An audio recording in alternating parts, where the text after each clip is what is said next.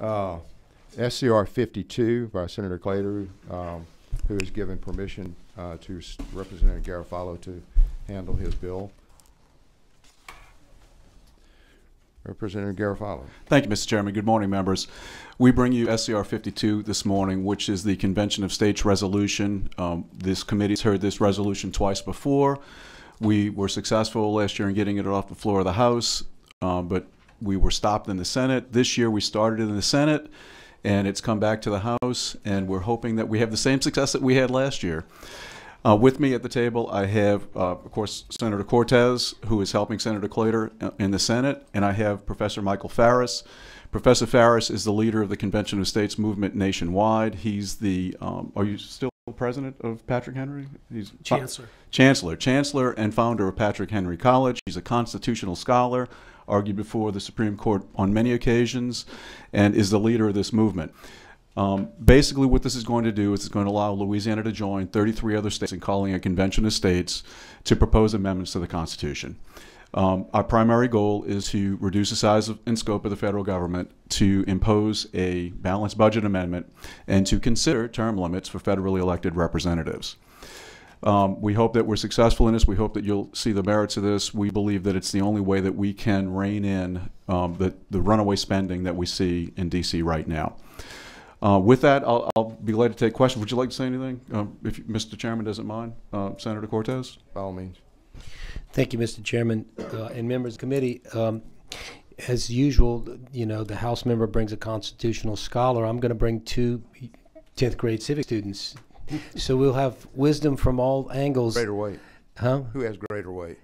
The students. Well, I think I think you need to hear the testimony, um, and uh, and I'm going to tell you uh, when, when they get an opportunity to come to the table in a few moments. I'm going to tell you uh, just a little bit about how they came to be at the state capitol today and a few weeks ago in the Senate committee. Um, I have a constituent in my district who uh, I ran into, a friend from way back that over lunch one day, and he started talking to me about this convention of states, and I said, well you being a former civics teacher, um, which as they say in the Senate means I was a coach, uh, which I was. But, but uh, having been a former civics teacher, he brought up uh, a lot of the civics lessons that I taught, and I said uh, to to my friend constituent Steve, you're sixty something years old. I'm going to be fifty five, although many people say I don't look fifty five, but. Uh, It's a good thing. Lance, it's not 65 that you say I look. Um, I said, you know, a convention of states may take 20 years. It may take, you know, there's many uh, amendments to the Constitution that have never been ratified, and it takes a long, drawn out process. I said, let's go talk to the future. Let's go talk to some civics classes, and if nothing else, we'll educate and we'll have an opportunity. And so we did.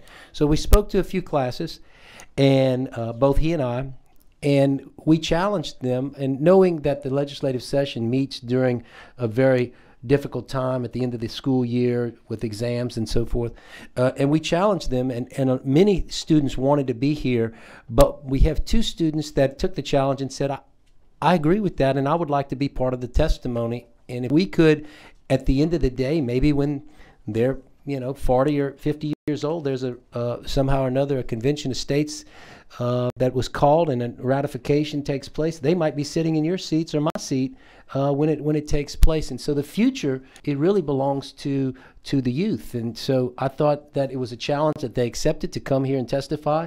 And so they will be at the table in a little bit to testify as to why they believe this uh, resolution has some merit. So uh, with that. Um, uh, Mr. Chairman, uh, certainly uh, there are other people that can speak to the, the effect of the resolution and what it would do, but we memorialize Congress in this body all the time, and this is simply memorializing Congress uh, with this resolution. So thank you for, for the time. Mr. Chairman, members of the committee, thank you so much. Uh, I had the privilege of hearing the young lady's Senate testimony a couple of weeks ago, and there is no doubt that their testimony is more uh, effective than my own. So uh, we'll just leave th- that clear. that up, Yeah, that's right. Right. um, the um, um, there are 20 times that the uh, legislature of Louisiana has uh, made an application on Article 5 for a convention of the states for a variety of topics. Uh, in 2014, for example, for a balanced budget amendment, they sought to repeal the 16th Amendment on income tax, other things over the years. Um, the the process has three stages. When 34 states call for a convention for a particular purpose, then you have a convention uh, limited to that purpose. We've had over 400 applications in the history of our country for various kinds of topics, but we've never had a convention because there's never been two thirds of the states to agree on a topic. Uh, we believe that uh, uh, hopefully within a few years, um, hopefully not 40 or 50, but hopefully within a few years, we, we believe we'll get to uh, 34 states on this particular topic, which is to impose fiscal restraints on the federal government, limit the power and jurisdiction of the federal government, and impose term limits on federal officials. Those three things are a rule of germaneness. That is what is permitted to be talked about at the convention. Amendments relative to those topics. It, it guarantees nothing ter- in terms of of the uh, that all those topics will be covered by by proposed amendments because it requires 26 states, one state, one vote, to agree on a particular balanced budget amendment, a tax limitation amendment, something about federal executive orders, something about the judiciary, and so on. And so when um, when 26 states agree to propose something, then the third stage is 38. 38 states must ratify. And so the, the uh, as everyone who's been around political process at all knows, it's much easier to kill legislation than it is to pass it. So the idea that something crazy could get through that process is requires us to take leave of our political senses.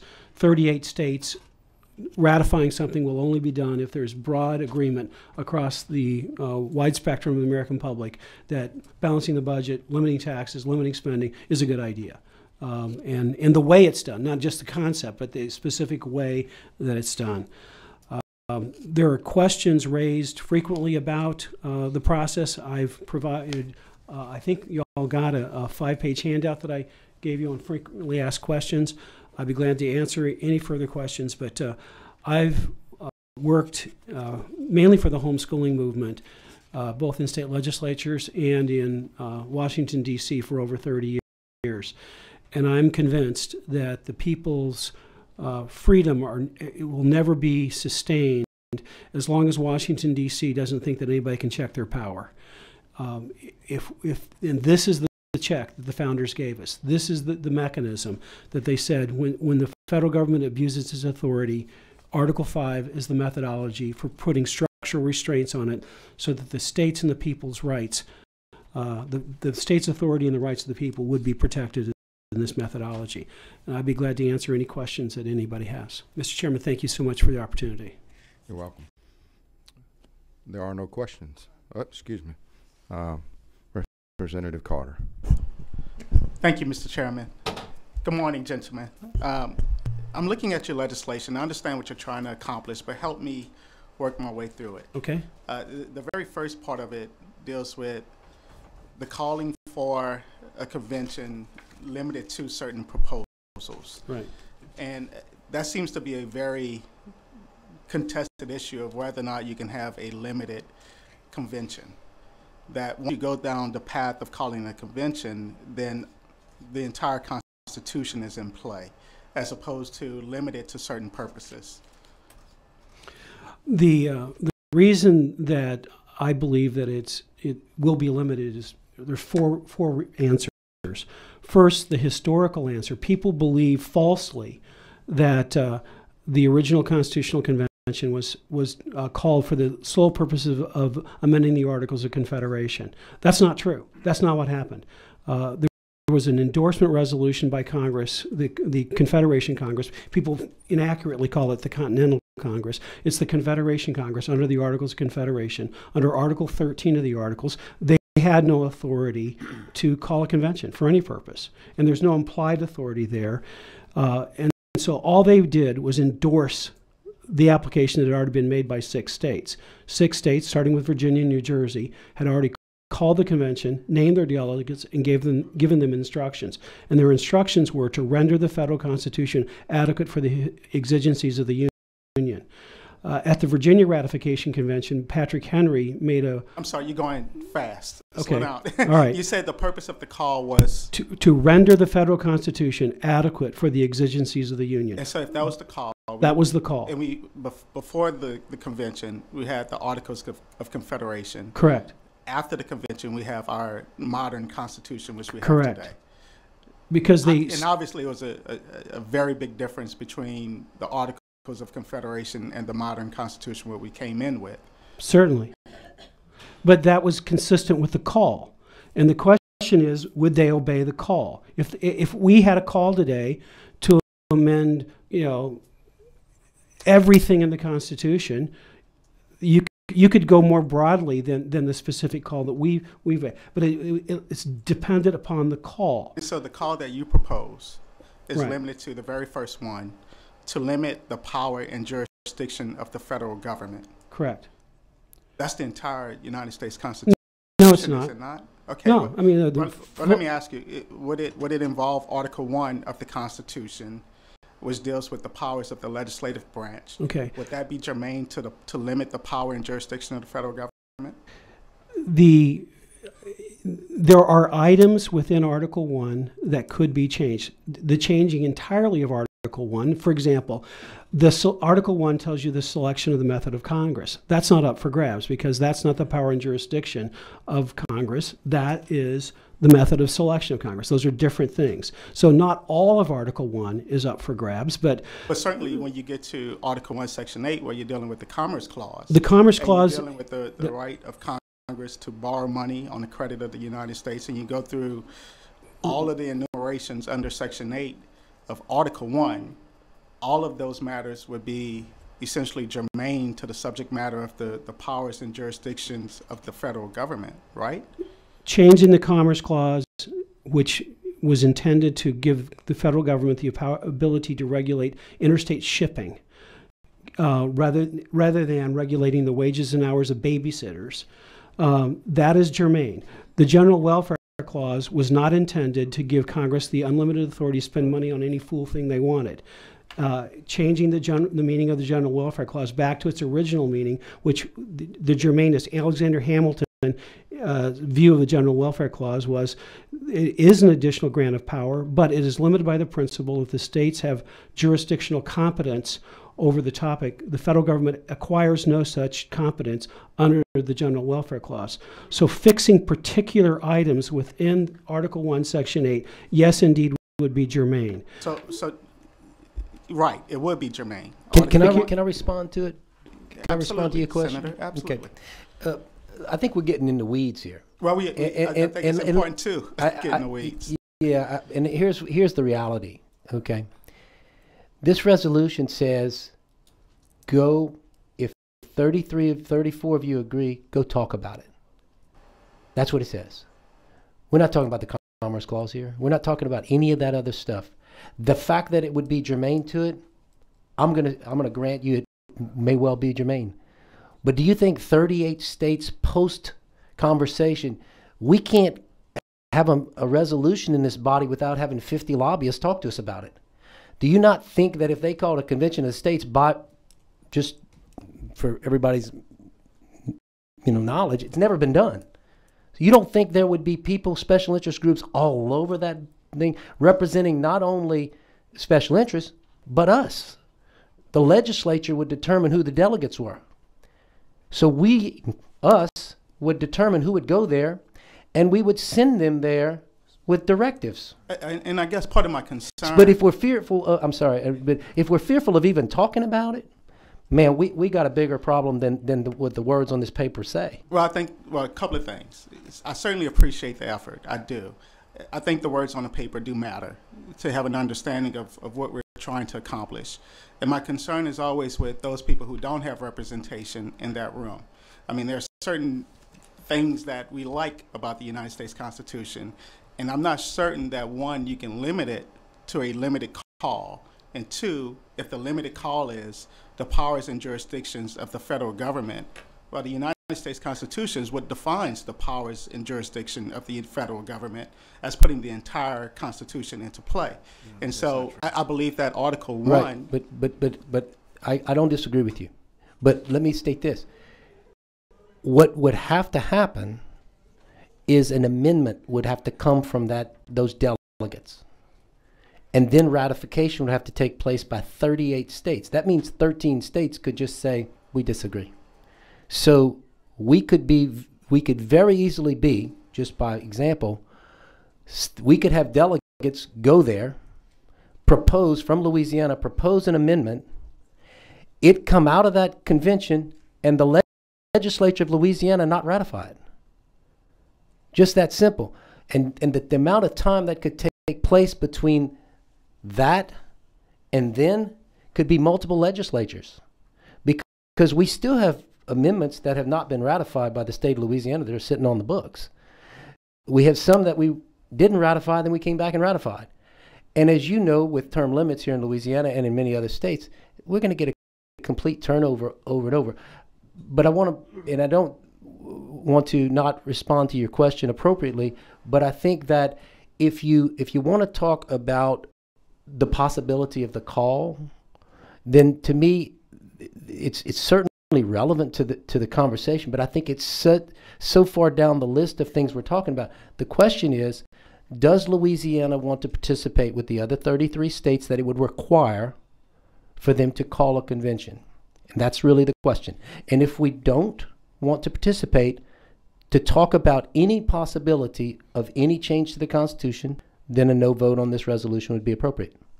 If we want to talk about it, if we're concerned that we, you know, that there may be one little thing that someone, maybe Delaware, would bring up that would be relevant, and we want to talk about it, then we have to impose this this uh, because the, the the last um, um, well, there's never been a, uh, an amendment drafted out of a convention of states, as far as I know. And It's always been drafted by the by the Congress. If I could just briefly um, finish a part of my answer, and that is this legislature has called for a convention of the states 20 times.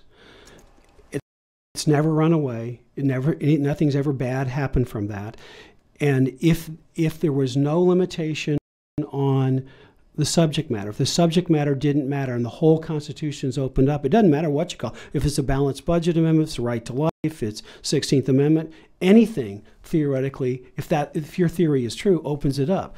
This legislature has 20 times said, "Eh, we don't buy the theory that it will open up," and 400 times in American history, state legislatures have said, "Eh, we don't we don't agree with that," and John Marshall at the Virginia Ratification Convention, when this argument was made, said, Gentlemen have proven that the delegates did not disobey their instructions. So the idea that delegates would disobey their instruction is not, a, is not valid as a matter of law, it's not valid as a matter of history, and requires speculation about politics that just requires us to take leave of common sense.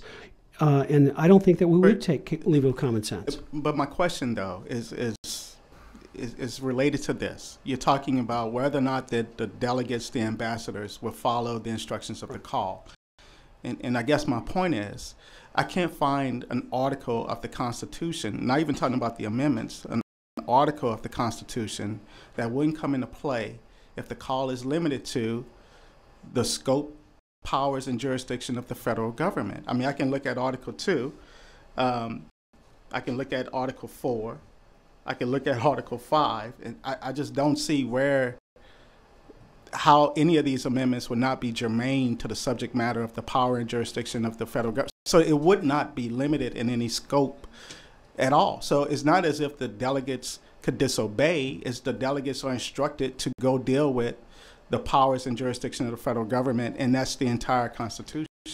It's not the entire Constitution. Article 1, Section 8 is not the same as Article 1, Section 9, Artic- nor Article 1, Section 10, nor Article 2, Section 1, Article 2. You know, the fact that you can, there's a lot of different provisions within each article. The fact that you might be able to touch one thing in one article, one thing in another article, another thing in another article, So doesn't Article mean that One, the Section Nine deals with, you know, the Constitution, the, the constituting of tribunals inferior to the Supreme Court. Well, that certainly deals with the scope and powers of, of the, the federal. I, I, think you're enumerating the various things that are theoretically possible takes us into the area where political speculation replaces political common sense. And, and I think that political common sense has to prevail. The founders gave us this method for a reason. They wanted the states to decide how how much power the federal government should have. And if, if fear is going to be the reason that we, we don't stop the federal government from abusing its power, all we're going to get is more abuse of power. So, I mean, you can fear monger all you want, but I'm it, not fear mongering well. I'm certainly just if, if it's opening up the entire Constitution, that's a fear to me that it would fear make me afraid. I don't want to open up the entire Constitution. So that's what I mean by that. I don't want to. I don't know anybody that wants to open up the entire Constitution, no matter where they come down on anything. And so you have a convention with with people of all political persuasions who don't want to open up the entire Constitution, and we're asked to speculate that that would happen. I, I just don't think it's realistic. Thank you, Mr. Chairman. Thank you, Representative Ivey. Thank you, uh, Mr. Chairman. Uh, You, you mentioned the practical nature of this process, and, and that's, and, and that's kind of where I want to hone in on. Uh, Where do the delegates get their instructions from? Obviously, there needs to be a, pro- does this resolution, I don't see anything about delegate selection or instruction specifically to delegates. Could you walk me through that process? Sure, we, we would have to pass a separate piece of legislation that would determine the delegate selection process and what the delegates were authorized to deal with at, the convention. Okay, and so we can get as wordy as we want with regard to, we can take every single article, what is off limits or what it, you know, and the specific goal and or endeavor, uh, the It's will of the legislature. Let's say for a balanced budget amendment, we're looking for this, you know, similar language. This for a balanced budget amendment uh, to accomplish. It, these it's things. totally within the purview of the Louisiana legislature to determine how its amendment, uh, uh, how its ambassadors would be, what, what charge they would have at the convention. And because, so let's say we had a convention, okay, that a convention was called, uh, and let's say Louisiana, uh, we could not agree on the delegate selection process or the instructions to those delegates. Would we be able to participate in that convention? We would still would have a seat at the table, but we would have to have a set of instructions. For Right, but let's say that we failed to do that because of the complication, because maybe we couldn't come to some understanding. Let's just, it, would we not have a an official, recognizable position uh, at the convention? if you have to appoint delegates. Do you have to? You have to appoint delegates. If you don't appoint delegates, Louisiana just would not participate. Right. So, and so my point is, I, believe that the process is such that Louisiana can give those instructions to the delegates, and, and knowing how Louisiana works through uh, complicated issues, things that are important to everybody, uh, it's going to have to have some type of uh, bipartisan support, politics, uh, and also uh, fair representation uh, for all of Louisiana. exactly, and and the instructions, as I said, would have to be very specific. Absolutely. So I, I believe that could easily remedy that the concept of you know a bunch of people are going to go there and they're going to uh, you know start talking about things well, that they, should. As I said before, Representative Ivey, we have three checks. Number one, we believe the call limits the scope of the, of the convention. Number two, our legislation appointing our ambassadors would be able, we would be able to limit what the ambassadors could vote on. We would be able to determine when they would be recalled. We would have basically total control over what they do. And thirdly, as, as Represent, uh, Senator Cortez mentioned, we still have to pass that hurdle of three quarters of the states ratifying. So 13 states could get together and say, no, we don't like this amendment, and it doesn't go on the Constitution. So it's a, it's a very high hurdle. There are a lot of protections. Absolutely. Uh, is it possible to draft language in a, a, a resolution for the delegates to say uh, that the legislature could, you know, uh, remove you as a delegate Absolutely. if you uh, veer outside of the boundaries? Absolutely. and Okay, some so- states are even con- con- considering um, making, a, making it a felony if they veer outside. There are questions about whether that can, can be done if they're outside of the state, but that's what some states are talking about right now. Okay. Well, so uh, a lot of safeguards uh, that are we're able to put in uh, that Absolutely. that next step. Practically, how many delegates could be at a convention? You, I, I think most states are Yes, choosing like five or six. Is that correct? Practically. Yeah, yeah. Pra- pragmatically, be, I think it'll be five, seven, five or seven. I think they'll send an odd number. At least several hundred people at this convention. Sure. It, it, it'll be about the size of a little bit smaller than the U.S. House of Representatives. Okay. Uh, and we only have 105 members in, in our body, and I tell you, it's it's very difficult to agree on controversial stuff. It's extremely difficult, uh, even within the same party. Uh, we have uh, tremendous disagreements on uh, ways to solve problems. So I believe the, there's strength in numbers in that uh, that the numbers themselves offer an additional protection. Uh, it's not just uh, one person from each state getting together. It's it's it's a much larger group. That's all, that's all, right, Rep. Ivey? Yeah, that's all. I smell what you're stepping in. Thank, thank you, Representative Ivey. and thank you, Mr. Chairman. Thank you, Representative Miller. Thank you, Mr. Chairman. Uh, It's a question I, I have dealing with the process in terms of how we are approaching the problem to limit the power of the federal government, which I, which I agree has, has overstepped, and I've supported this every time it's come before this committee.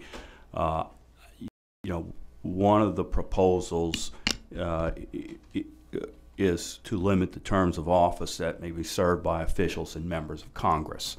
I know I'm probably in the one percent that don't believe in term limits. Well, believe me, we have several people in this room who don't believe in term limits. You know, uh, and, and I believe that term limits are, n- are not uh, a substitute for having an active, engaged, and informed electorate supporting qualified candidates and actually getting out to vote in those elections. I mean, I feel like we have term limits as a autopilot. Think we, oh, if we can just have term limits, we'll finally get Congress to do the right thing. And I disagree with that. Sure, and, and uh, Professor Farris will be able to expound on what other states are doing with that and where he believes we're going with it. But the way the call is worded right now, we could consider term limits for both federally elected representatives and for federal judges and federal officials. And I think that some of that should be on the table. And if you would, Professor, tell us what other states Well, are. the, the first, the first thing, the, what I would want to ask is this: Why wouldn't we just consider breaking this up and, and going through what has been a traditional way of uh, changing and uh, amending the Constitution and having all the states bring us a, a proposed constitutional amendment to say term limits on federal elected officials and uh, so forth, as opposed to being, you know, and we could, why not piecemeal that as opposed to taking this? Uh, tell me the Can strengths uh, versus. Sure, go, go Can, ahead. can I that respond? suggestion. Yeah, Sure. because I'm going to have to leave. I've got, Okay. I'm going to chair a committee in, in a few minutes. Um, a couple things. Uh, again, I, I want to make sure that everybody understands that Senator Claitor and I agreed to bring this legislation. I'm here on his behalf. And certainly that has been done. I think it was spoken to. They have the balanced budget amendment that's out there. They have a number of different ones out there. This particular document that we're talking about is what we decided to bring based on, you know, the, the conversation with the Convention of States. And there, there are, I don't know, maybe nine or 10 different organizations that are attempting to do something similar with a little different twist, sort of what you're talking about. But we can all disagree on the minutia of what's going to be discussed. But we can't discuss it until you get 34 states to pass a resolution that's identical. So the, the, the, I'm, I'm kind of going around the question. The question is, could you change this one? Sure, you could change it, and you, you could take out uh, term limits. You could take out this, but then you wouldn't be Aggregating. in, Right. in line with the other states. Well, and I'm not saying change this one. I mean, I look, I, I, I know I vote on legislation that I'm not ever 100% satisfied with, you know, and I, I'm I'm in support of the of the legislation in support of the concept. My my question would be, you know, why not attack it uh, at more of a piecemeal? Whereas I think you might, why why couldn't we go you may at it get that, that, way? I, I guess And- my, and- my point would be you may get that because we passed. I think we've had a balanced budget amendment. It's uh, passed two years Well, I'm talking about the, a term limit amendment. I think seems Right, and like that right may- now, I, you know, the term limit amendment probably would pass overwhelmingly by almost every state immediately. The, the beauty part of this resolution is that we can consider all of those issues.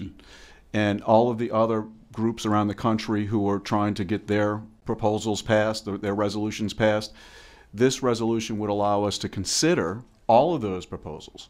So it, it's basically anything that, as we've talked about, would reduce the size and scope of the federal government. But also, I want to add this, Representative Miller, that we can easily, in the legislation that we pass, appointing our ambassadors, we could easily tell them that we don't want them to consider term limits for elected, federally elected representatives. and I'm, So I'm we have that supposing that you want to restrict the, the term limits. I mean, because I, I wouldn't want to have a situation where they say, well, we have term limits for the president, but we want different term limits for the president, which could mean that instead of, we go back to the, uh, under Franklin Roosevelt and have four terms. I mean, I, that, oh, oh, that would expanding. be a, well, yeah, no, I mean, it- it's it's restrict all of these. Um, But my, my contention would be that we don't know. That's all supposition because Utah might there and say something different than Delaware. So it's it's like a call for a special session.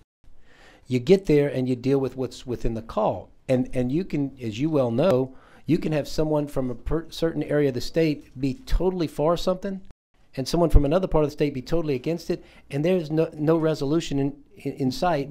The flip side is there may be some come together on a third issue, and that would could Yeah. come out. And that to me seems like where if, if you know I know there's probably consensus on this issue, uh, whereas there's not consensus on the other issues that you and I we all agree on certain things, but there's some things that there's broad consensus on. And but anyway, I, I'm in support of your bill and I appreciate you bringing it. Thank y'all for being here. Thank you, Representative Miller. Representative Jenkins. All right, thank you, Mr. Chairman. Thank you all for being here. Uh, I'm gonna go back uh, to some of the conversation that was going on with Representative Carter, and I think the term fear mongering was used. And um, I'm simply saying this uh, as it relates to this. Uh, you know, our present Constitution has been interpreted by the U.S. Supreme Court, you know, in a fashion where some people think there has been some net gains, everything from campaign financing uh, to health care to marriage. Uh, isn't it true that, you know, if an amendment uh, is made to the Constitution, I'm not saying that that's what the purpose of this is, but isn't it true that if an amendment is made to the Constitution addressing some of those areas, you're basically legislatively overruling what the Supreme Court said about some of those subject matters? I'm not necessarily saying that your scope is to do that, or there's some motive to do it. I'm just saying, generally speaking, you can legislatively overrule a Supreme Court interpretation of our present Constitution. Exactly right. Just like the 13th, 14th, and 15th Amendment reverse Dred Scott. That's exactly right. Correct, correct. And, And so, so- that's, that's what I'm saying. Yeah. I don't think it's fear mongering when you have people who feel like there has been some gains over a long period of time with the Constitution that we have, and a court, uh, and the highest court in the land has taken a look at it and has made some interpretations of that Constitution. And I, I'm simply saying that to say, you know, there, there, it's not fear mongering to, to look at and see whether or not net gains that have been made now uh, could be legislatively overruled uh, by amendments that come out of a constitutional convention. Representative Jenkins, uh, if, if I'm allowed to make sure that we include political realism, mm-hmm. anything that the American public broadly believes is a net gain from constitutional interpretation, will there is no way in this world that it would be reversed by an amendment. It's only things where the vast majority of the American public thinks that is not a net gain, and that is just the gradual but steady increase of federal power over all of our lives where we're losing more and more of our ability to make our own decisions at, at the state level, more and more uh, loss of ability to make our own personal decisions. Those are the kinds of things where the vast majority of the American public thinks we need to make some corrections. When I was talking about was fear mongering is a theory that the entire Constitution would be thrown out and rewritten. That I think is an improper fear, and it's not going to happen. There's no realistic way that that could ever happen in our country, and I don't think there's any chance that we're going to throw out the 13th or 14th or 15th amendments in the in the gains that they made. We we paid a great price to reverse the Supreme Court's decision in Dred, Dred Scott, but it was the right thing to do, and we made the right decision on that. And so, just because it's you know there, there's some decisions of the Supreme Court that are great, others not so great. I helped reverse the Supreme Court decision called uh, in Employment Division versus Smith when they threw religious freedom into the tank. And I'm, I'm the guy who named the Religious Freedom Restoration Act that passed uh, unanimously in the House of Representatives and 97 to 3 in the U.S. Senate. And so sometimes the Supreme Court gets some things wrong, so we need to reverse them legislatively. But only those things where the vast majority of the American public thinks we need to make this correction. That's the only thing that's possible here. The question is should any corrections be made to the federal government's power? I think the vast majority of Americans and the vast majority of this legislature think we should make some corrections to federal power. Sure. Again, even assuming that the, the convention goes beyond the scope, the call, the scope of the call, even assuming that they go beyond the scope of our legislative mandate to them when we appoint them, we still have the ratification process. And exactly what Professor Farris is saying is true that it's going to be really, really hard to get three quarters of the states, 38 states, to agree on something that the vast majority of the American people don't want. It, it would be impossible. So, with those three checks, Representative Jenkins, I believe that it's almost an impossibility that we'd have any of those social issues or any of those issues where we're concerned that that's the set, it should be set where it is.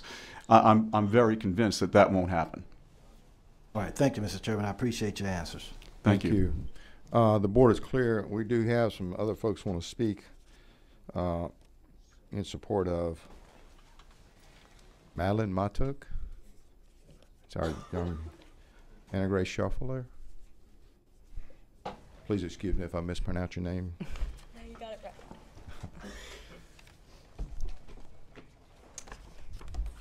okay, go right ahead.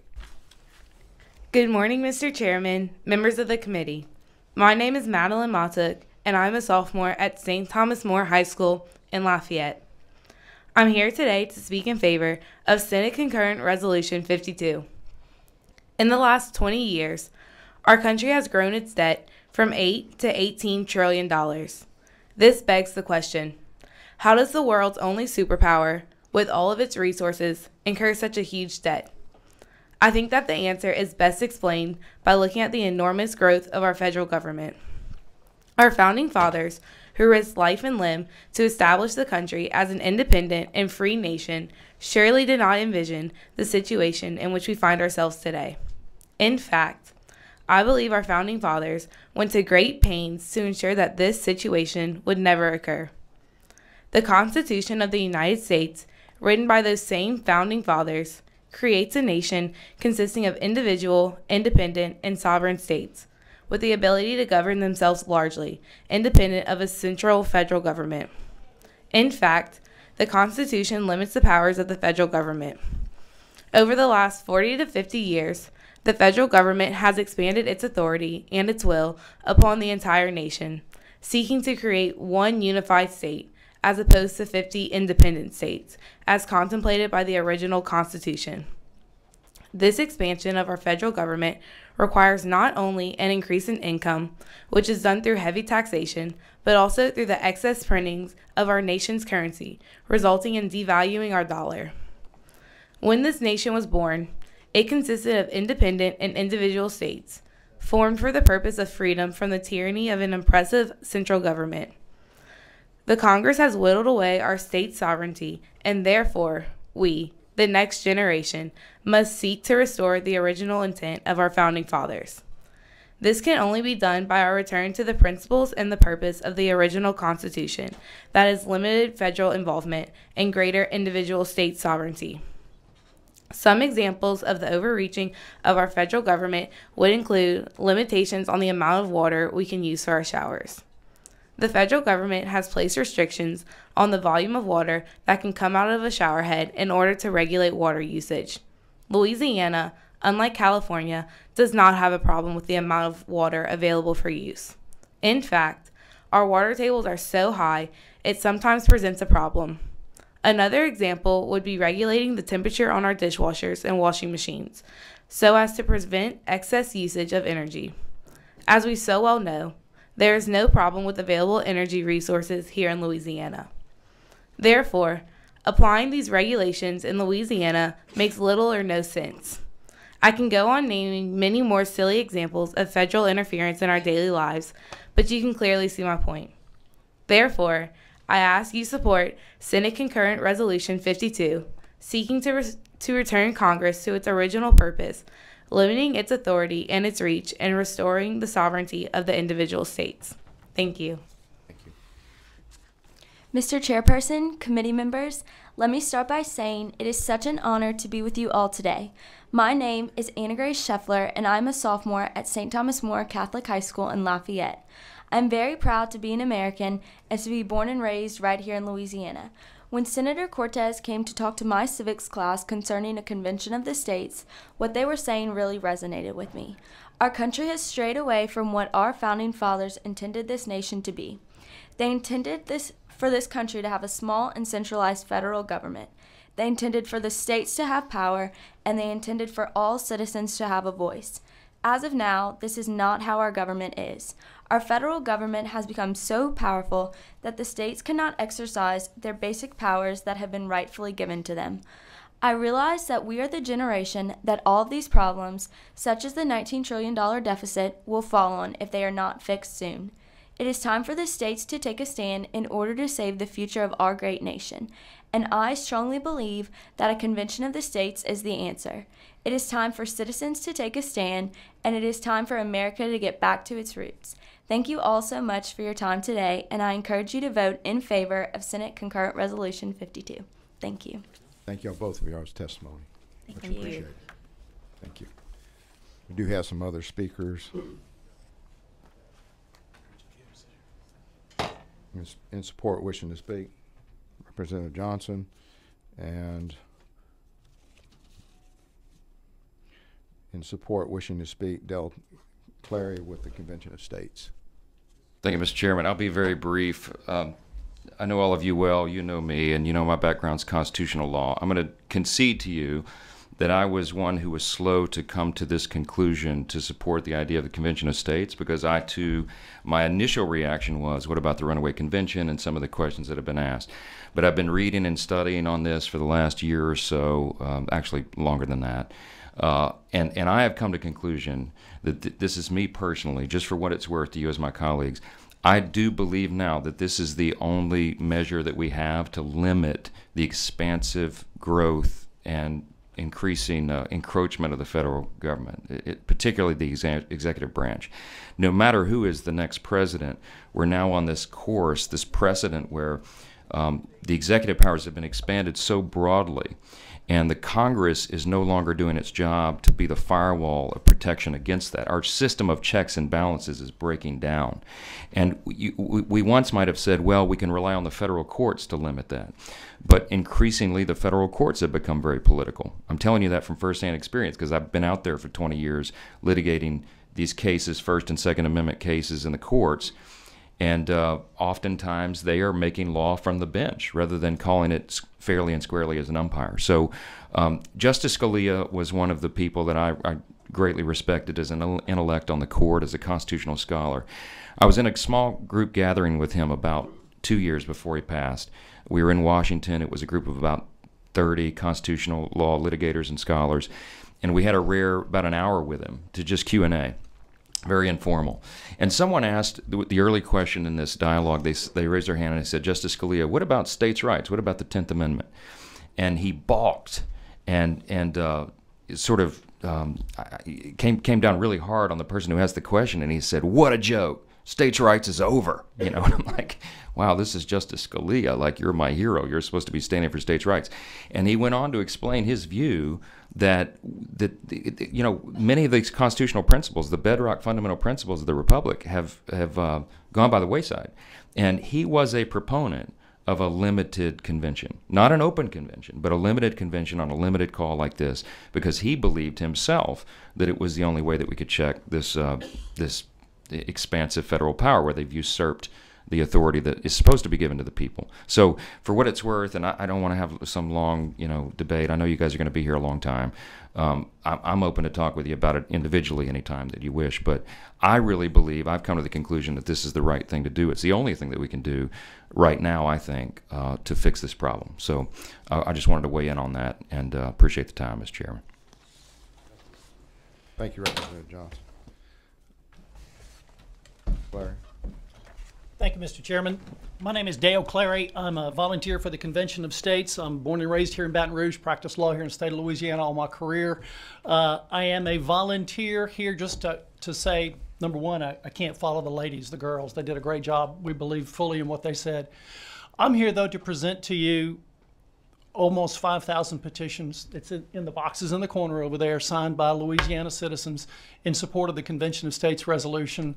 Uh, we have all, over 500 of them just from the districts of the members of the committee here. Uh, we're here to tell you one thing. We trust you more than we trust Washington, D.C. Republican, Democrat, Independent, we trust you more than we trust those folks that are up there in Washington. We see what they're doing. They can't control themselves. They can't control their spending. They can't control their debt. We know that if we contact you by email or, or phone, we're going to get a response. So what I'm telling you is we believe in you folks more than we believe in Washington, D.C., and this is the technique, this is the tool that we have to rein in a runaway Washington, D.C. Thank you, Mr. Chairman. Thank you. Okay. Uh, the board's clear. I do have some uh, cards in support. Um, Chad Durr, Convention of States, uh, not wishing, uh, will present and provide information if necessary. In support, uh, President will provide information. Uh, Clifford Evans, Convention of States. In support, will provide information. Sullivan Clark, citizen from Albany, Louisiana. In support, will provide information. Steve Gardes, uh, from Lafayette. In support, um, not wishing to speak, Charles Smith. In support, um, not wishing to speak, Joe Consini of Convention of States. Sorry if I butchered that name. Uh, Michael, excuse me, in support, not wishing to speak, Michael Hall from Lafayette. In support, not wishing to speak, Vincent Costanza uh, with AL Scrap Metals in Kenner. Uh, in support, not wishing to speak, Chuck Rims from Convention of States. In support, not wishing to speak, Cynthia Greer, Convention of States. In support, not wishing to speak, Michael T. Barrett, uh, Convention of States. In support, not wishing to speak, Christina Durr, Convention of States. In support, not wishing to speak, Bo Saunier from Lafayette.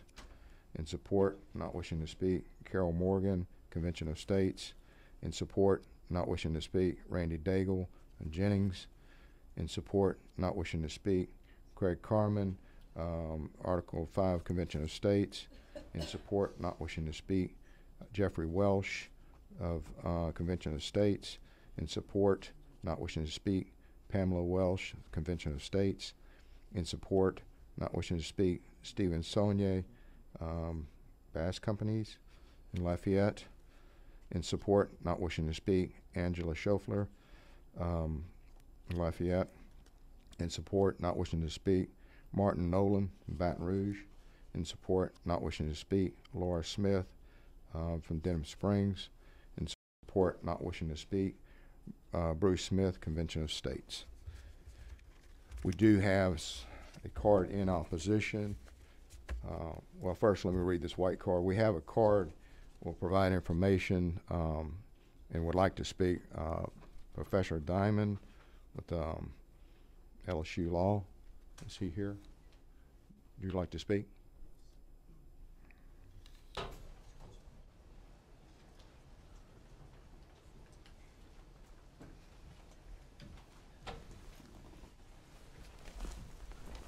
Thank you, Mr. Chairman. I took the liberty, Mr. Chairman, of um, making copies of the United States Constitution, highlighting each of the sections that I thought were clearly, thank you, uh, were, would clearly be the subject of the call of, um, of the resolution, even in its most narrow form. Uh, my name is Raymond Diamond. I'm a professor at LSU Law Center. Uh, I'm a legal historian. I've taught constitutional law for over 30 years. And I have written, among other subjects, on the structure of government, federal government, the framing of the United States Constitution, and the debates among the states in conventions to ratify the Constitution.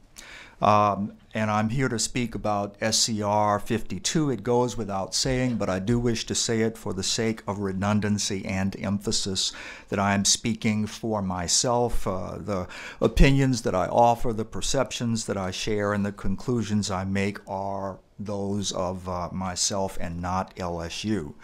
Uh, the Constitution has been amended 27 times, as, has, as is possible under Article 5 of the Constitution. Each of these amendments was proposed by two thirds of each House of Congress and in turn ratified by three quarters of the legislatures of the states. The nation has never taken advantage of an alternative provided by Article 5, that of the application of two thirds of the states that's 34 of 50, that upon that application, Congress might call a constitutional convention to propose amendments, which in turn would require ratification by the legislatures of the states. Understand what SCR 52 is. SCR 52 would have Louisiana squarely in the midst of a national effort to call for a constitutional convention for its stated purposes. This is said to be a straightforward matter. It is not. Now, first, uh, let us define terms. Uh, the convention that would be called under Article 5 is not a convention of states. It may seem like a small thing, but it is important. Article 5 speaks explicitly to a convention to be called for proposing amendments. This is not a convention of states. Congress will call the convention. Conceivably, Congress will appoint the delegates.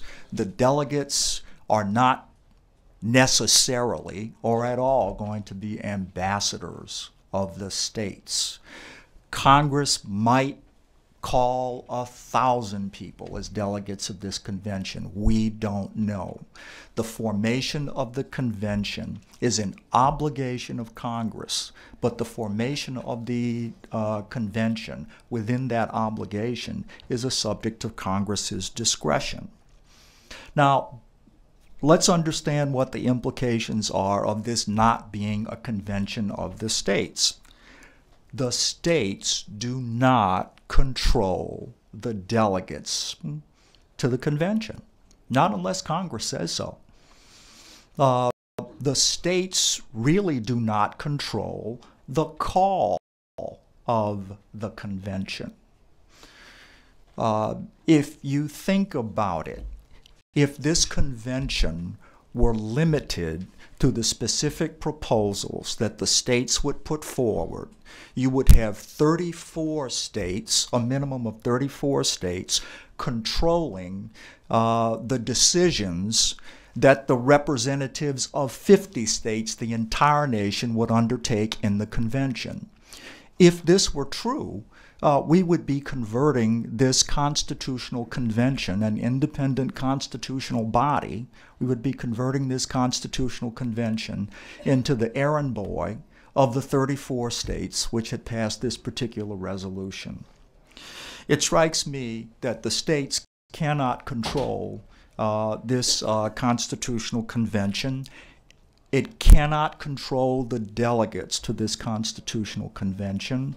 I have read as well of states which have considered all manner of controls that might be put on the delegates, including uh, criminal penalties for violating uh, their instructions. Uh, unfortunately, this is actually a rather laughable concept. States cannot control federal actors. States can't control their senators, they can't control their representatives, they can't even control the members of the Electoral College who cast votes on behalf of their states. We have from time to time instances of the faithless elector who does his or her own thing in the Electoral College and fails to vote for the person um, uh, whom, um, whom the elector was designated to vote, vote for. This happens, and there's nothing that a state can do about it. Now, I would point out something else, and this is in, in, in support of the notion that a convention is not necessarily at all limited to the call of the convention. If you consider the resolution of February 21st, 1787, when the Continental Congress called for a convention to revise the Articles of Confederation, um, we came out with a replacement for the Articles of Confederation. Uh, the convention in the resolution of February 21st, 1787, if you if you were to look at the journals of uh, the of um, of the Continental Congress, what you would see is that the Continental Congress specifically um, put off, tabled uh, any conversa- uh, a vote rather on the Annapolis Convention of 1786, which called for changes in the Articles of Confederation. Instead, at the instance of the delegates from New York, a different resolution was called for. Uh, this different resolution spoke to the mechanisms in the Articles of Confederation for amending the Articles of Confederation, and that is the amendment which passed. That sorry, excuse me. That is the uh, provision which passed. Please note that the the Constitution, uh, which was uh, proposed by the Philadelphia Convention, uh, has a method of adoption uh, which is far outside of the limitations of the Articles of Confederation. Um, the thought that what the Philadelphia Convention was was a runaway convention. Um, that's not necessarily um, language that I would use, but it's very clear that the Philadelphia Convention uh, did its own thing, and I think that we should consider as we think about this um, this constitutional convention that is being proposed. We should consider that we are at risk for of the same thing happening. So that's point number one. This is not a convention of states. Point number two uh, is that there is no certainty of control. There is no certainty of control uh, with respect to the activities of the convention. So now, let us consider, however, what if the proponents are right that this convention is limited to uh, the subjects of uh, imposing fiscal restraints on the federal government and limiting the power and jurisdiction of the federal government and imposing term limits. Um, Arguably, term limits and fiscal restraints are relatively self defining phrases. And I would point out, however, that our federal judiciary serve for a term of good behavior. And as Thurgood Marshall once said, and as Antonin Scalia recently demonstrated, that means that the appointment is potentially for life. This unlimited term was advised by the framers of the Constitution to guarantee an independent federal judiciary. One could argue against an unlimited term for, for the federal judiciary. But one would have to understand that imposing term limits goes against the policies adopted by the framers of the Constitution. Fiscal restraints, once again, perhaps self defining, but fiscal restraints go to the question of monetary restraints as well. And I would point out as well that for a state like Louisiana, uh, which receives much more from the federal government um, in monies appropriated to be spent here in the state of Louisiana and by the state of Louisiana. For a state like Louisiana, the imposition of fiscal restraints on the federal government quite possibly goes against the state's interest. If you consider how much of the budget of the state of Louisiana is not money generated in Louisiana, but instead which is money appropriated by the federal government to be spent by the state government, one wonders whether it is in the state of Louisiana's interest that we have uh, stringent fiscal restraints. Now, all of this is opened up by SCR 52. Now, limiting the power and jurisdiction of the federal government is not self defining. Uh, between the two political branches of the federal government, that's the president and the Congress, the power of the federal government goes to, among other things, the conduct of foreign policy, providing for and the control of the military, making war, the use of the militia to enforce laws and to respond to insurrection and invasion, collecting taxes, borrowing money, appropriating money to be spent and importantly, control, control of interstate and foreign commerce. Um, I would point out, for example, that the 1964 Civil Rights Act was not a function of Congress's power to uh, enforce uh, the Equal Protection Clause under the 14th Amendment, the 1964 Civil Rights Act, uh, the Open Housing Act. Um, th- these were passed under Congress's power to control interstate commerce. Beyond this, Congress has power to enforce the terms of the 13th Amendment's ban on slavery and involuntary servitude, on the 14th Amendment's command that no state shall deny equal protection of the laws or due process of law to any person. The 15th, 19th, and 24th Amendments guarantee of the right to vote with irrespective of race or gender or payment of poll taxes. All of this and more is the subject of SCR 52. Now, a brief statement of history is in order. SCR 52 runs counter to the judgment of the framing generation that had had the experience of dealing with a weak federal government under the Articles of Confederation. The Union of States was beset under the Articles with the experience of states that discriminated against out of state actors. Congress could not provide tax revenue to fund the federal government's operations, could not control the money supply or the printing of money by the several states, could not adequately respond to Shays' rebellion. It is true that the government of the United States under the Constitution is intended to be inefficient. And it is, with its division of power among three branches of government, and one of those being split into two parts, with its further division of power between the federal government and the state governments. And, and again, this is inherently inefficient. We, we have seen inefficiency in federal government over time, and we see it today, given the existence of periodic stalemate and government by crisis readily apparent in Washington.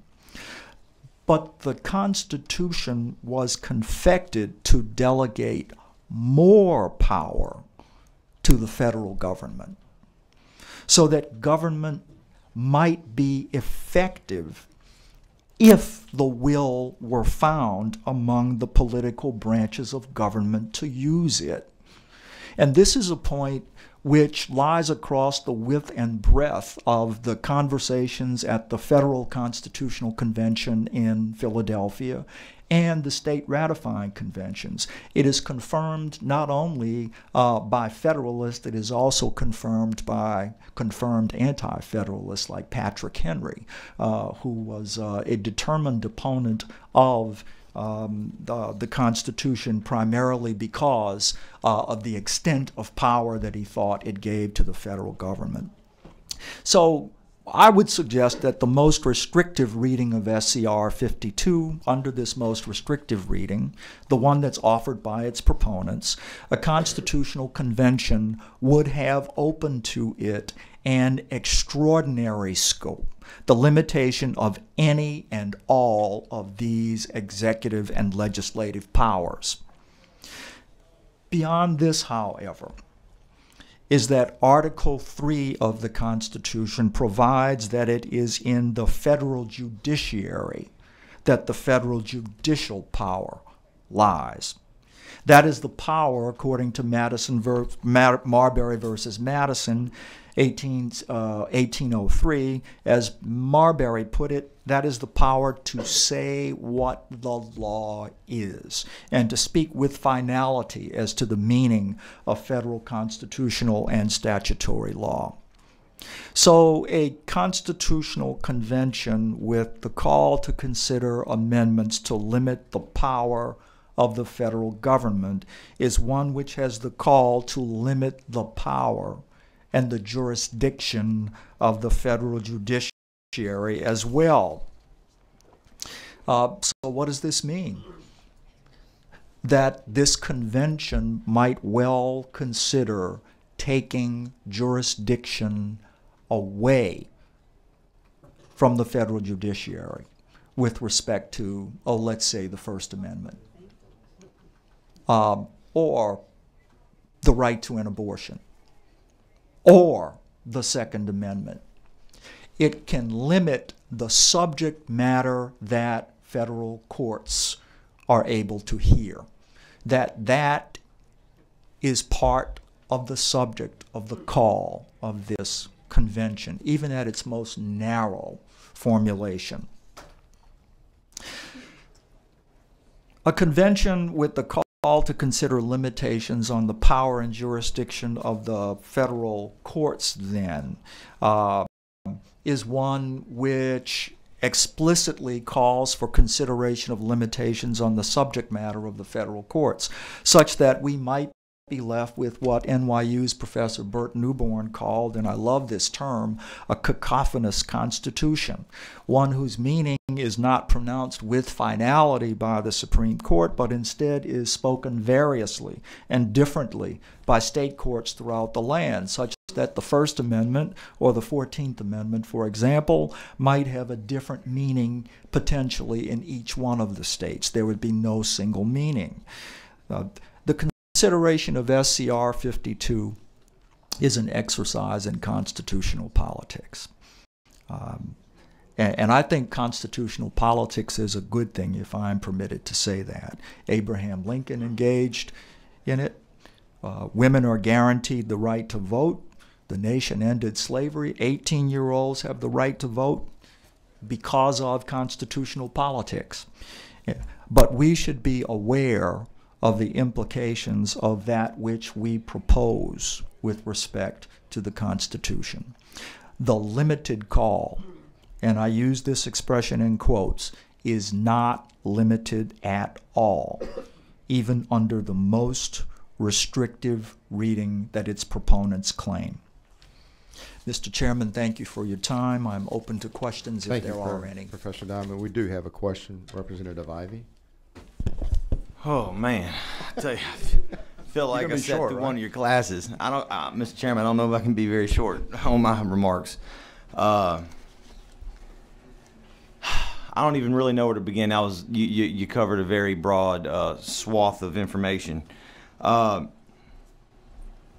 let me let me just start. Uh, are, within your field of, of you know expertise, being a, a, a professor, uh, is are the opinions that you espouse with regard to your interpretation of history and the Constitution and other uh, other aspects?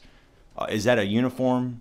Uh, is that something that's uniform amongst all professors, amongst all uh, people with regard to the problems that you you present with uh, Article Five?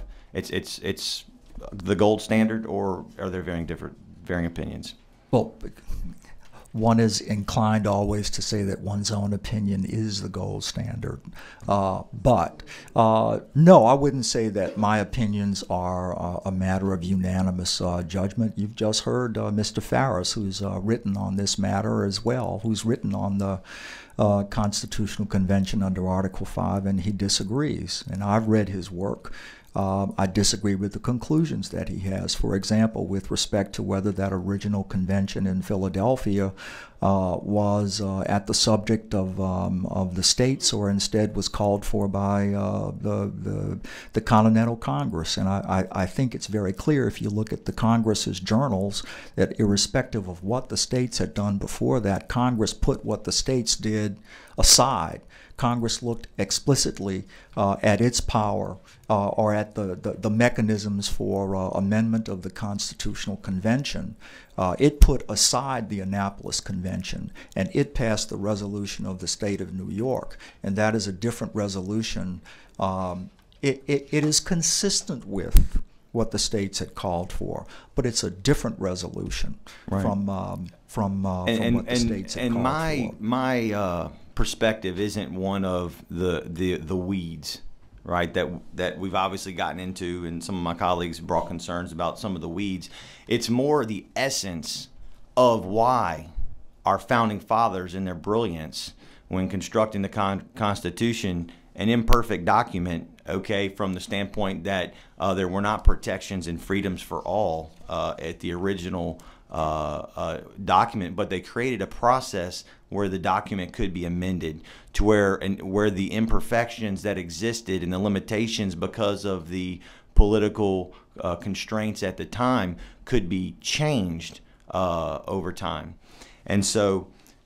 Article 5 is obviously one of those uh, brilliant provisions uh, in, in, the, in the Constitution. The, the, last, the last amendment to be ratified was the 27th Amendment, is that correct? 27th, that's correct. How long did that one take to get ratified? About 200 years. About 200 years, right. Now, and, and, and I looked at it, I had staff uh, do some research for me. Uh, the, the amendment, it, you would think it'd be extremely simple amendment to pass. It, it's basically, you can correct me if I'm wrong, it says that if you pass a legislature, if Congress passes uh, legislation with regard to uh, pay for Congress, that it can only go into effect the next term. Is that correct? Correct. 200 years to pass something that we, I believe most of us would feel is pretty low hanging fruit. Yes. Okay. Um, obviously, that's the outlier of the of the amendments right there. But uh, just wanted to point that one out. Uh, what do you feel the likelihood is that Congress will pass a, a balanced budget amendment? I would prefer not to speculate on that. I think my odds would, of winning the Powerball are better. I, okay. I, I would I would simply point out that uh, since Richard Nixon's presidency, we've had a number uh, of mechanisms that Congress has put into place uh, in order uh, to to move us forward to a balanced budget. Eh, Since when? Since Richard Nixon's presidency. Since Nixon. We've been working since Nixon. Well, at that pace, okay, we'll we'll have spent ourselves into oblivion, okay, by the time we actually get some progress. Uh, it's a, is it a two thirds vote for Congress to pass a constitutional amendment that would have to go to for ratification? Yeah, we need a two-thirds majority in each House of Congress, and we need a three-quarters uh, majority among uh, the states. Yeah, that that that I would almost call that almost impossible. It's just short of impossible, in my opinion. Um, you, we don't even need to talk about term limits. If you pass a balanced budget amendment, guess what? We'll have over half of Congress quit. Okay, because I'm gonna tell you, in Louisiana, you can run. yeah, uh, no, thank you. Uh, in Louisiana, when we're dealing with you know 1.5 to 2 billion dollar deficits, tiny amounts, they lose that in the mattress cushion uh, uh, in, in Congress. Uh, we give more than that away to uh, you know other countries, and we're trying to make those cuts, and they have tremendous impacts on each one of our constituents. We all take that very seriously. Congress doesn't even have to worry about it they're spending ourselves into oblivion. Do you know what? Do you know what the word mortgage where it originates from and what it means? Uh, I believe I do. Okay, Uh, I believe it comes from a French term that's correct. uh, having to do, well, having to do with debt and secured debt. Uh, but more than that, I, I would leave it to you to inform us. Yeah. okay. Uh, it means death pledge. Death pledge, not debt. Death. All right. We are mortgaging our children, our grandchildren, our great grandchildren's future. Have you looked at the debt clock lately? No, Representative Ivey, I haven't. Okay. You know, people, and I find it comical, you know, in a, in a terrible way. Uh, people refer to the national debt as being such a tremendous problem at $19 trillion now. And that's almost laughable because that's only the, that's only the, uh, that's only one aspect of our debt. The, the total debt is 64 trillion and then the unfunded liabilities is over 102 trillion right? That $102 trillion of unfunded liabilities equates to approximately $853,000 per taxpayer, right? And uh, in 2020, it's estimated that that'll be an additional uh, $20 trillion added to that total debt there, or you know, unfunded liability. And that's an additional $394,000 per taxpayer by 2020. We're out of control. I, personally, I find it difficult to even concede that we can recover from these kind of numbers personally. But you know, it, I'm, I guess uh, I'll try to be a hopeful uh, optimist and think that if we if we take the drastic measures necessary to get our spending under control, we can actually turn things around. Because there's no one in their personal finances, their business finances, or state finances who have spent themselves into oblivion who who can recover. You look, we, we're starting to see cities in our in our country uh, go bankrupt you know and um, the only reason that that congress uh, it, we're not there nationally is because we can print as much money as we care to print but there's always a day of reckoning and it's always going to come and what upsets me is that knowing congress will never and, and look I, I tell you I, I put any amount of money on congress will never act to, to, to put themselves in check They'll never do it. And our founding fathers gave us as states. You know, you know where those federal dollars that you talk about come from? They come from taxpayers' pockets all around the country, including Louisiana. And personally, the the fact that it may not be beneficial for Louisiana because of how much federal dollars we get, you know what? If the feds wouldn't take all our money to begin with, maybe we wouldn't have to beg for some of it back. Representative Ivey. Well, okay. Can I, Representative Ivey, the, the wisdom or not of having a balanced budget is beyond the subject of my presentation. Now, I will state as a personal matter that I believe in fiscal responsibility. Uh, having said that, uh, what is the subject of my presentation is about is the dangers that are presented in using this particular mechanism in order to achieve what some would argue and what many would agree are reasonable goals. Okay, well then what's the other mechanism we can use? And to that, of that goal? course, is the other, uh, that, well, first off, with respect to a balanced budget, uh, there is always the possibility of demanding of our representatives that they act responsibly. And, And- and how does that work? And, well, one would think that the framers thought that it works well, and as a matter of democratic theory, one would think that it works well, and one would think that if the people actually presented a demand to their representatives and were forceful about it, they could force such a change. That's method number one. Method number two, of course, is under Article 5 and that is to impose a constitutional change, uh, not via a constitutional convention, but via, via the much more refined mechanism with uh, Congress passing resolutions and with states um, uh, confirming them.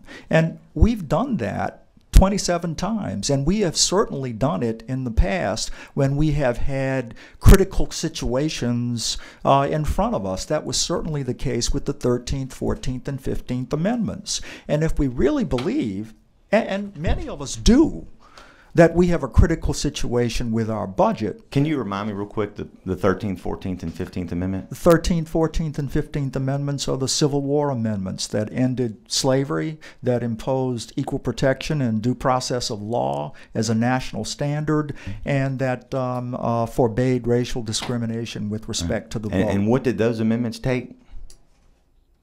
A war. That Yes, took a did. war. Okay, that didn't come about because a bunch of politicians in Washington thought, you know, maybe we should settle this uh, because we feel it's best for the country. No, it was a bunch of stiff necked politicians doing what they felt was in their best interest. Careful. Yeah, well, hey, I call it like I see it. Well, it, and, and that's true, Mr. Ivey, but on the other end of the spectrum is the 18-year-old vote amendment. Uh, the number of that amendment escapes me, uh, but that became law, as I recall, someplace around the period of a year. Uh, that we became um, convinced of the propriety of um, of allowing 18-year-olds who could get drafted and who could get do- who could uh, get killed in war, the propriety of allowing them to vote, and that that was at the, the other end of the spectrum. All right. Well, and, and I'm gonna sum it up right here. Thank you uh, for right your uh, patience, Mr. Chairman. Uh, I haven't read all the Federalist Papers, and I've done a little bit of research on um, several amendments, uh, particularly the Second Amendment and and the and the intent of our founding fathers. And I can tell you, almost unanimously, to contrary to your your uh, position or presentation, our founding fathers, the Constitution, what the you know obviously amendments one through ten were to put the limitations on the federal government. The federal government is is for the people. It's not for the sake of the federal government. The state, every right not, every power not expressed in the Constitution is given up for the states to decide right? And our federal government, the judicial branch, the legislative branch, and the executive branch have run amok uh, with that. That's why a state can uh, pass uh, a prohibition on gay marriage, and I'm not here to argue for or against it, but it's a states' rights issue. And if one state wants it, God bless them. If another one doesn't, guess what? It's their prerogative. And at, we've had judicial legislation at the uh, active from the bench tell us, you know what? No, that's some right that is clearly not enumerated in the Constitution. So uh, there's checks and balances, and the states calling for a convention, demanding an, a convention, is one of those checks. And at the appropriate time, I move favorable. Thank you, Representative. Uh, uh, Ladies and gentlemen, please hold your applause with this. We'd like to keep this meeting in order. Uh, Representative Jenkins. All right, thank, thank you, Mr. Chairman. You can certainly feel the passion uh, behind a subject matter like this, and I think it's very passionate from every angle. But I, I want to try to come back to what I think the point of, of this thing is all about. The uh, and that is, can you limit, or what is the risk uh, involved with trying to limit a convention of states to one narrow subject? One of the subjects that's floated around here is the subject of a balanced budget. Um, how, how can that, if it was just that one thing that, that was trying to be accomplished, how can that lead to uh, other subjects coming into uh, the convention? Well, Representative Jenkins, in my view, a convention which is called has the freedom to go beyond a narrow or limited call. So, so your view is that you cannot, the reality of trying to limit the convention to one specific call is, is something that is not achievable. You know, ba- basically, once you get into it, other subject matters can come in. From a political perspective, Representative, Rep- Representative Jenkins, perhaps uh, the, the, the convention will be self-limiting, that it will exercise discipline. Uh, from a constitutional um, um, from a constitutional, uh, I, I think that there is no constitutional limit on a convention which has the discretion, quote, to propose amendments. Those amendments, in my view, um, are the matter of are a matter of discretion equal to that that the House has, House of Representatives has, uh, in determining what an impeachable offense is, for example, or that the Senate has uh, in determining what its rules will be.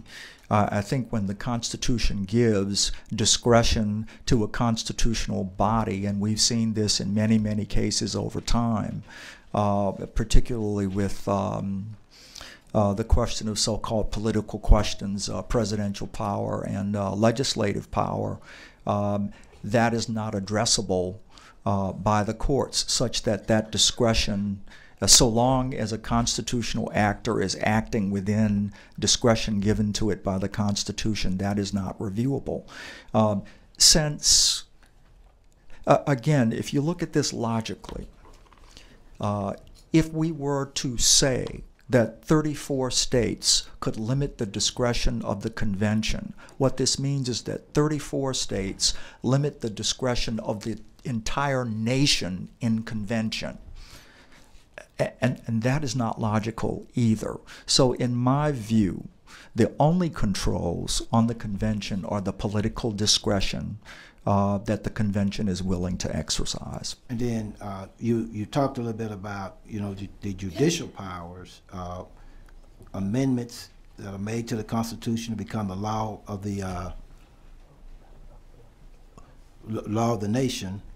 In other words, if you have Supreme Court rulings out there, there there are amendments that could come and legislatively overrule some of those uh, decisions. Yes, sir, and that has been done in the past. And then our federal government, I mean, if you go through the process, you have amendments, those are gonna be amendments that are gonna be there for the entire country, not one state having one rule and another state having a different rule. Yes. Is this a recent copy of the Constitution you passed out to us? Yes, that copy of the Constitution is uh, up to date. And uh, I, I just found it interesting, Article 13, that prohibits slavery and involuntary servitude. That amendment was rejected and never ratified by the state of Mississippi. It's true. So uh, we, we, we do know we need some uniformity throughout our country uh, to make uh, certain things uh, legal or prohibited uh, for every state, and not just based upon one state saying I'm all right with another state saying I'm not. And that's an example just out of the text of this Constitution that I see. All right, Yes, thank sir. you, Mr. Chairman. I appreciate your answers to the questions. The board is clear. Thank you, Professor. Thank you, Um, Mr. Chairman. We do have a late card in support, uh, does not wish to speak, Robert Trahan himself in the Convention of States. And we have some cards in opposition. Jan Moller with the Louisiana Budget Project is present and will provide information. And, uh, in opposition, uh, does not wish to speak, Daniel Hayes, Libertarian Party. The board is clear. you'd you like to close on your bill? Members, Mr. Chairman, I apologize for taking so long with this issue. We really didn't think it would take that long. I appreciate the committee's time.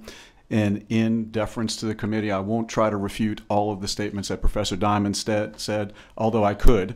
Um, I just, I want you guys to know that the one issue he didn't address was the ratification process. And even if you assume, which is crazy, that everything he said is true, we still have the ratification process, whereby three quarters of the states have to ratify any proposed amendments that would come out of this convention of states.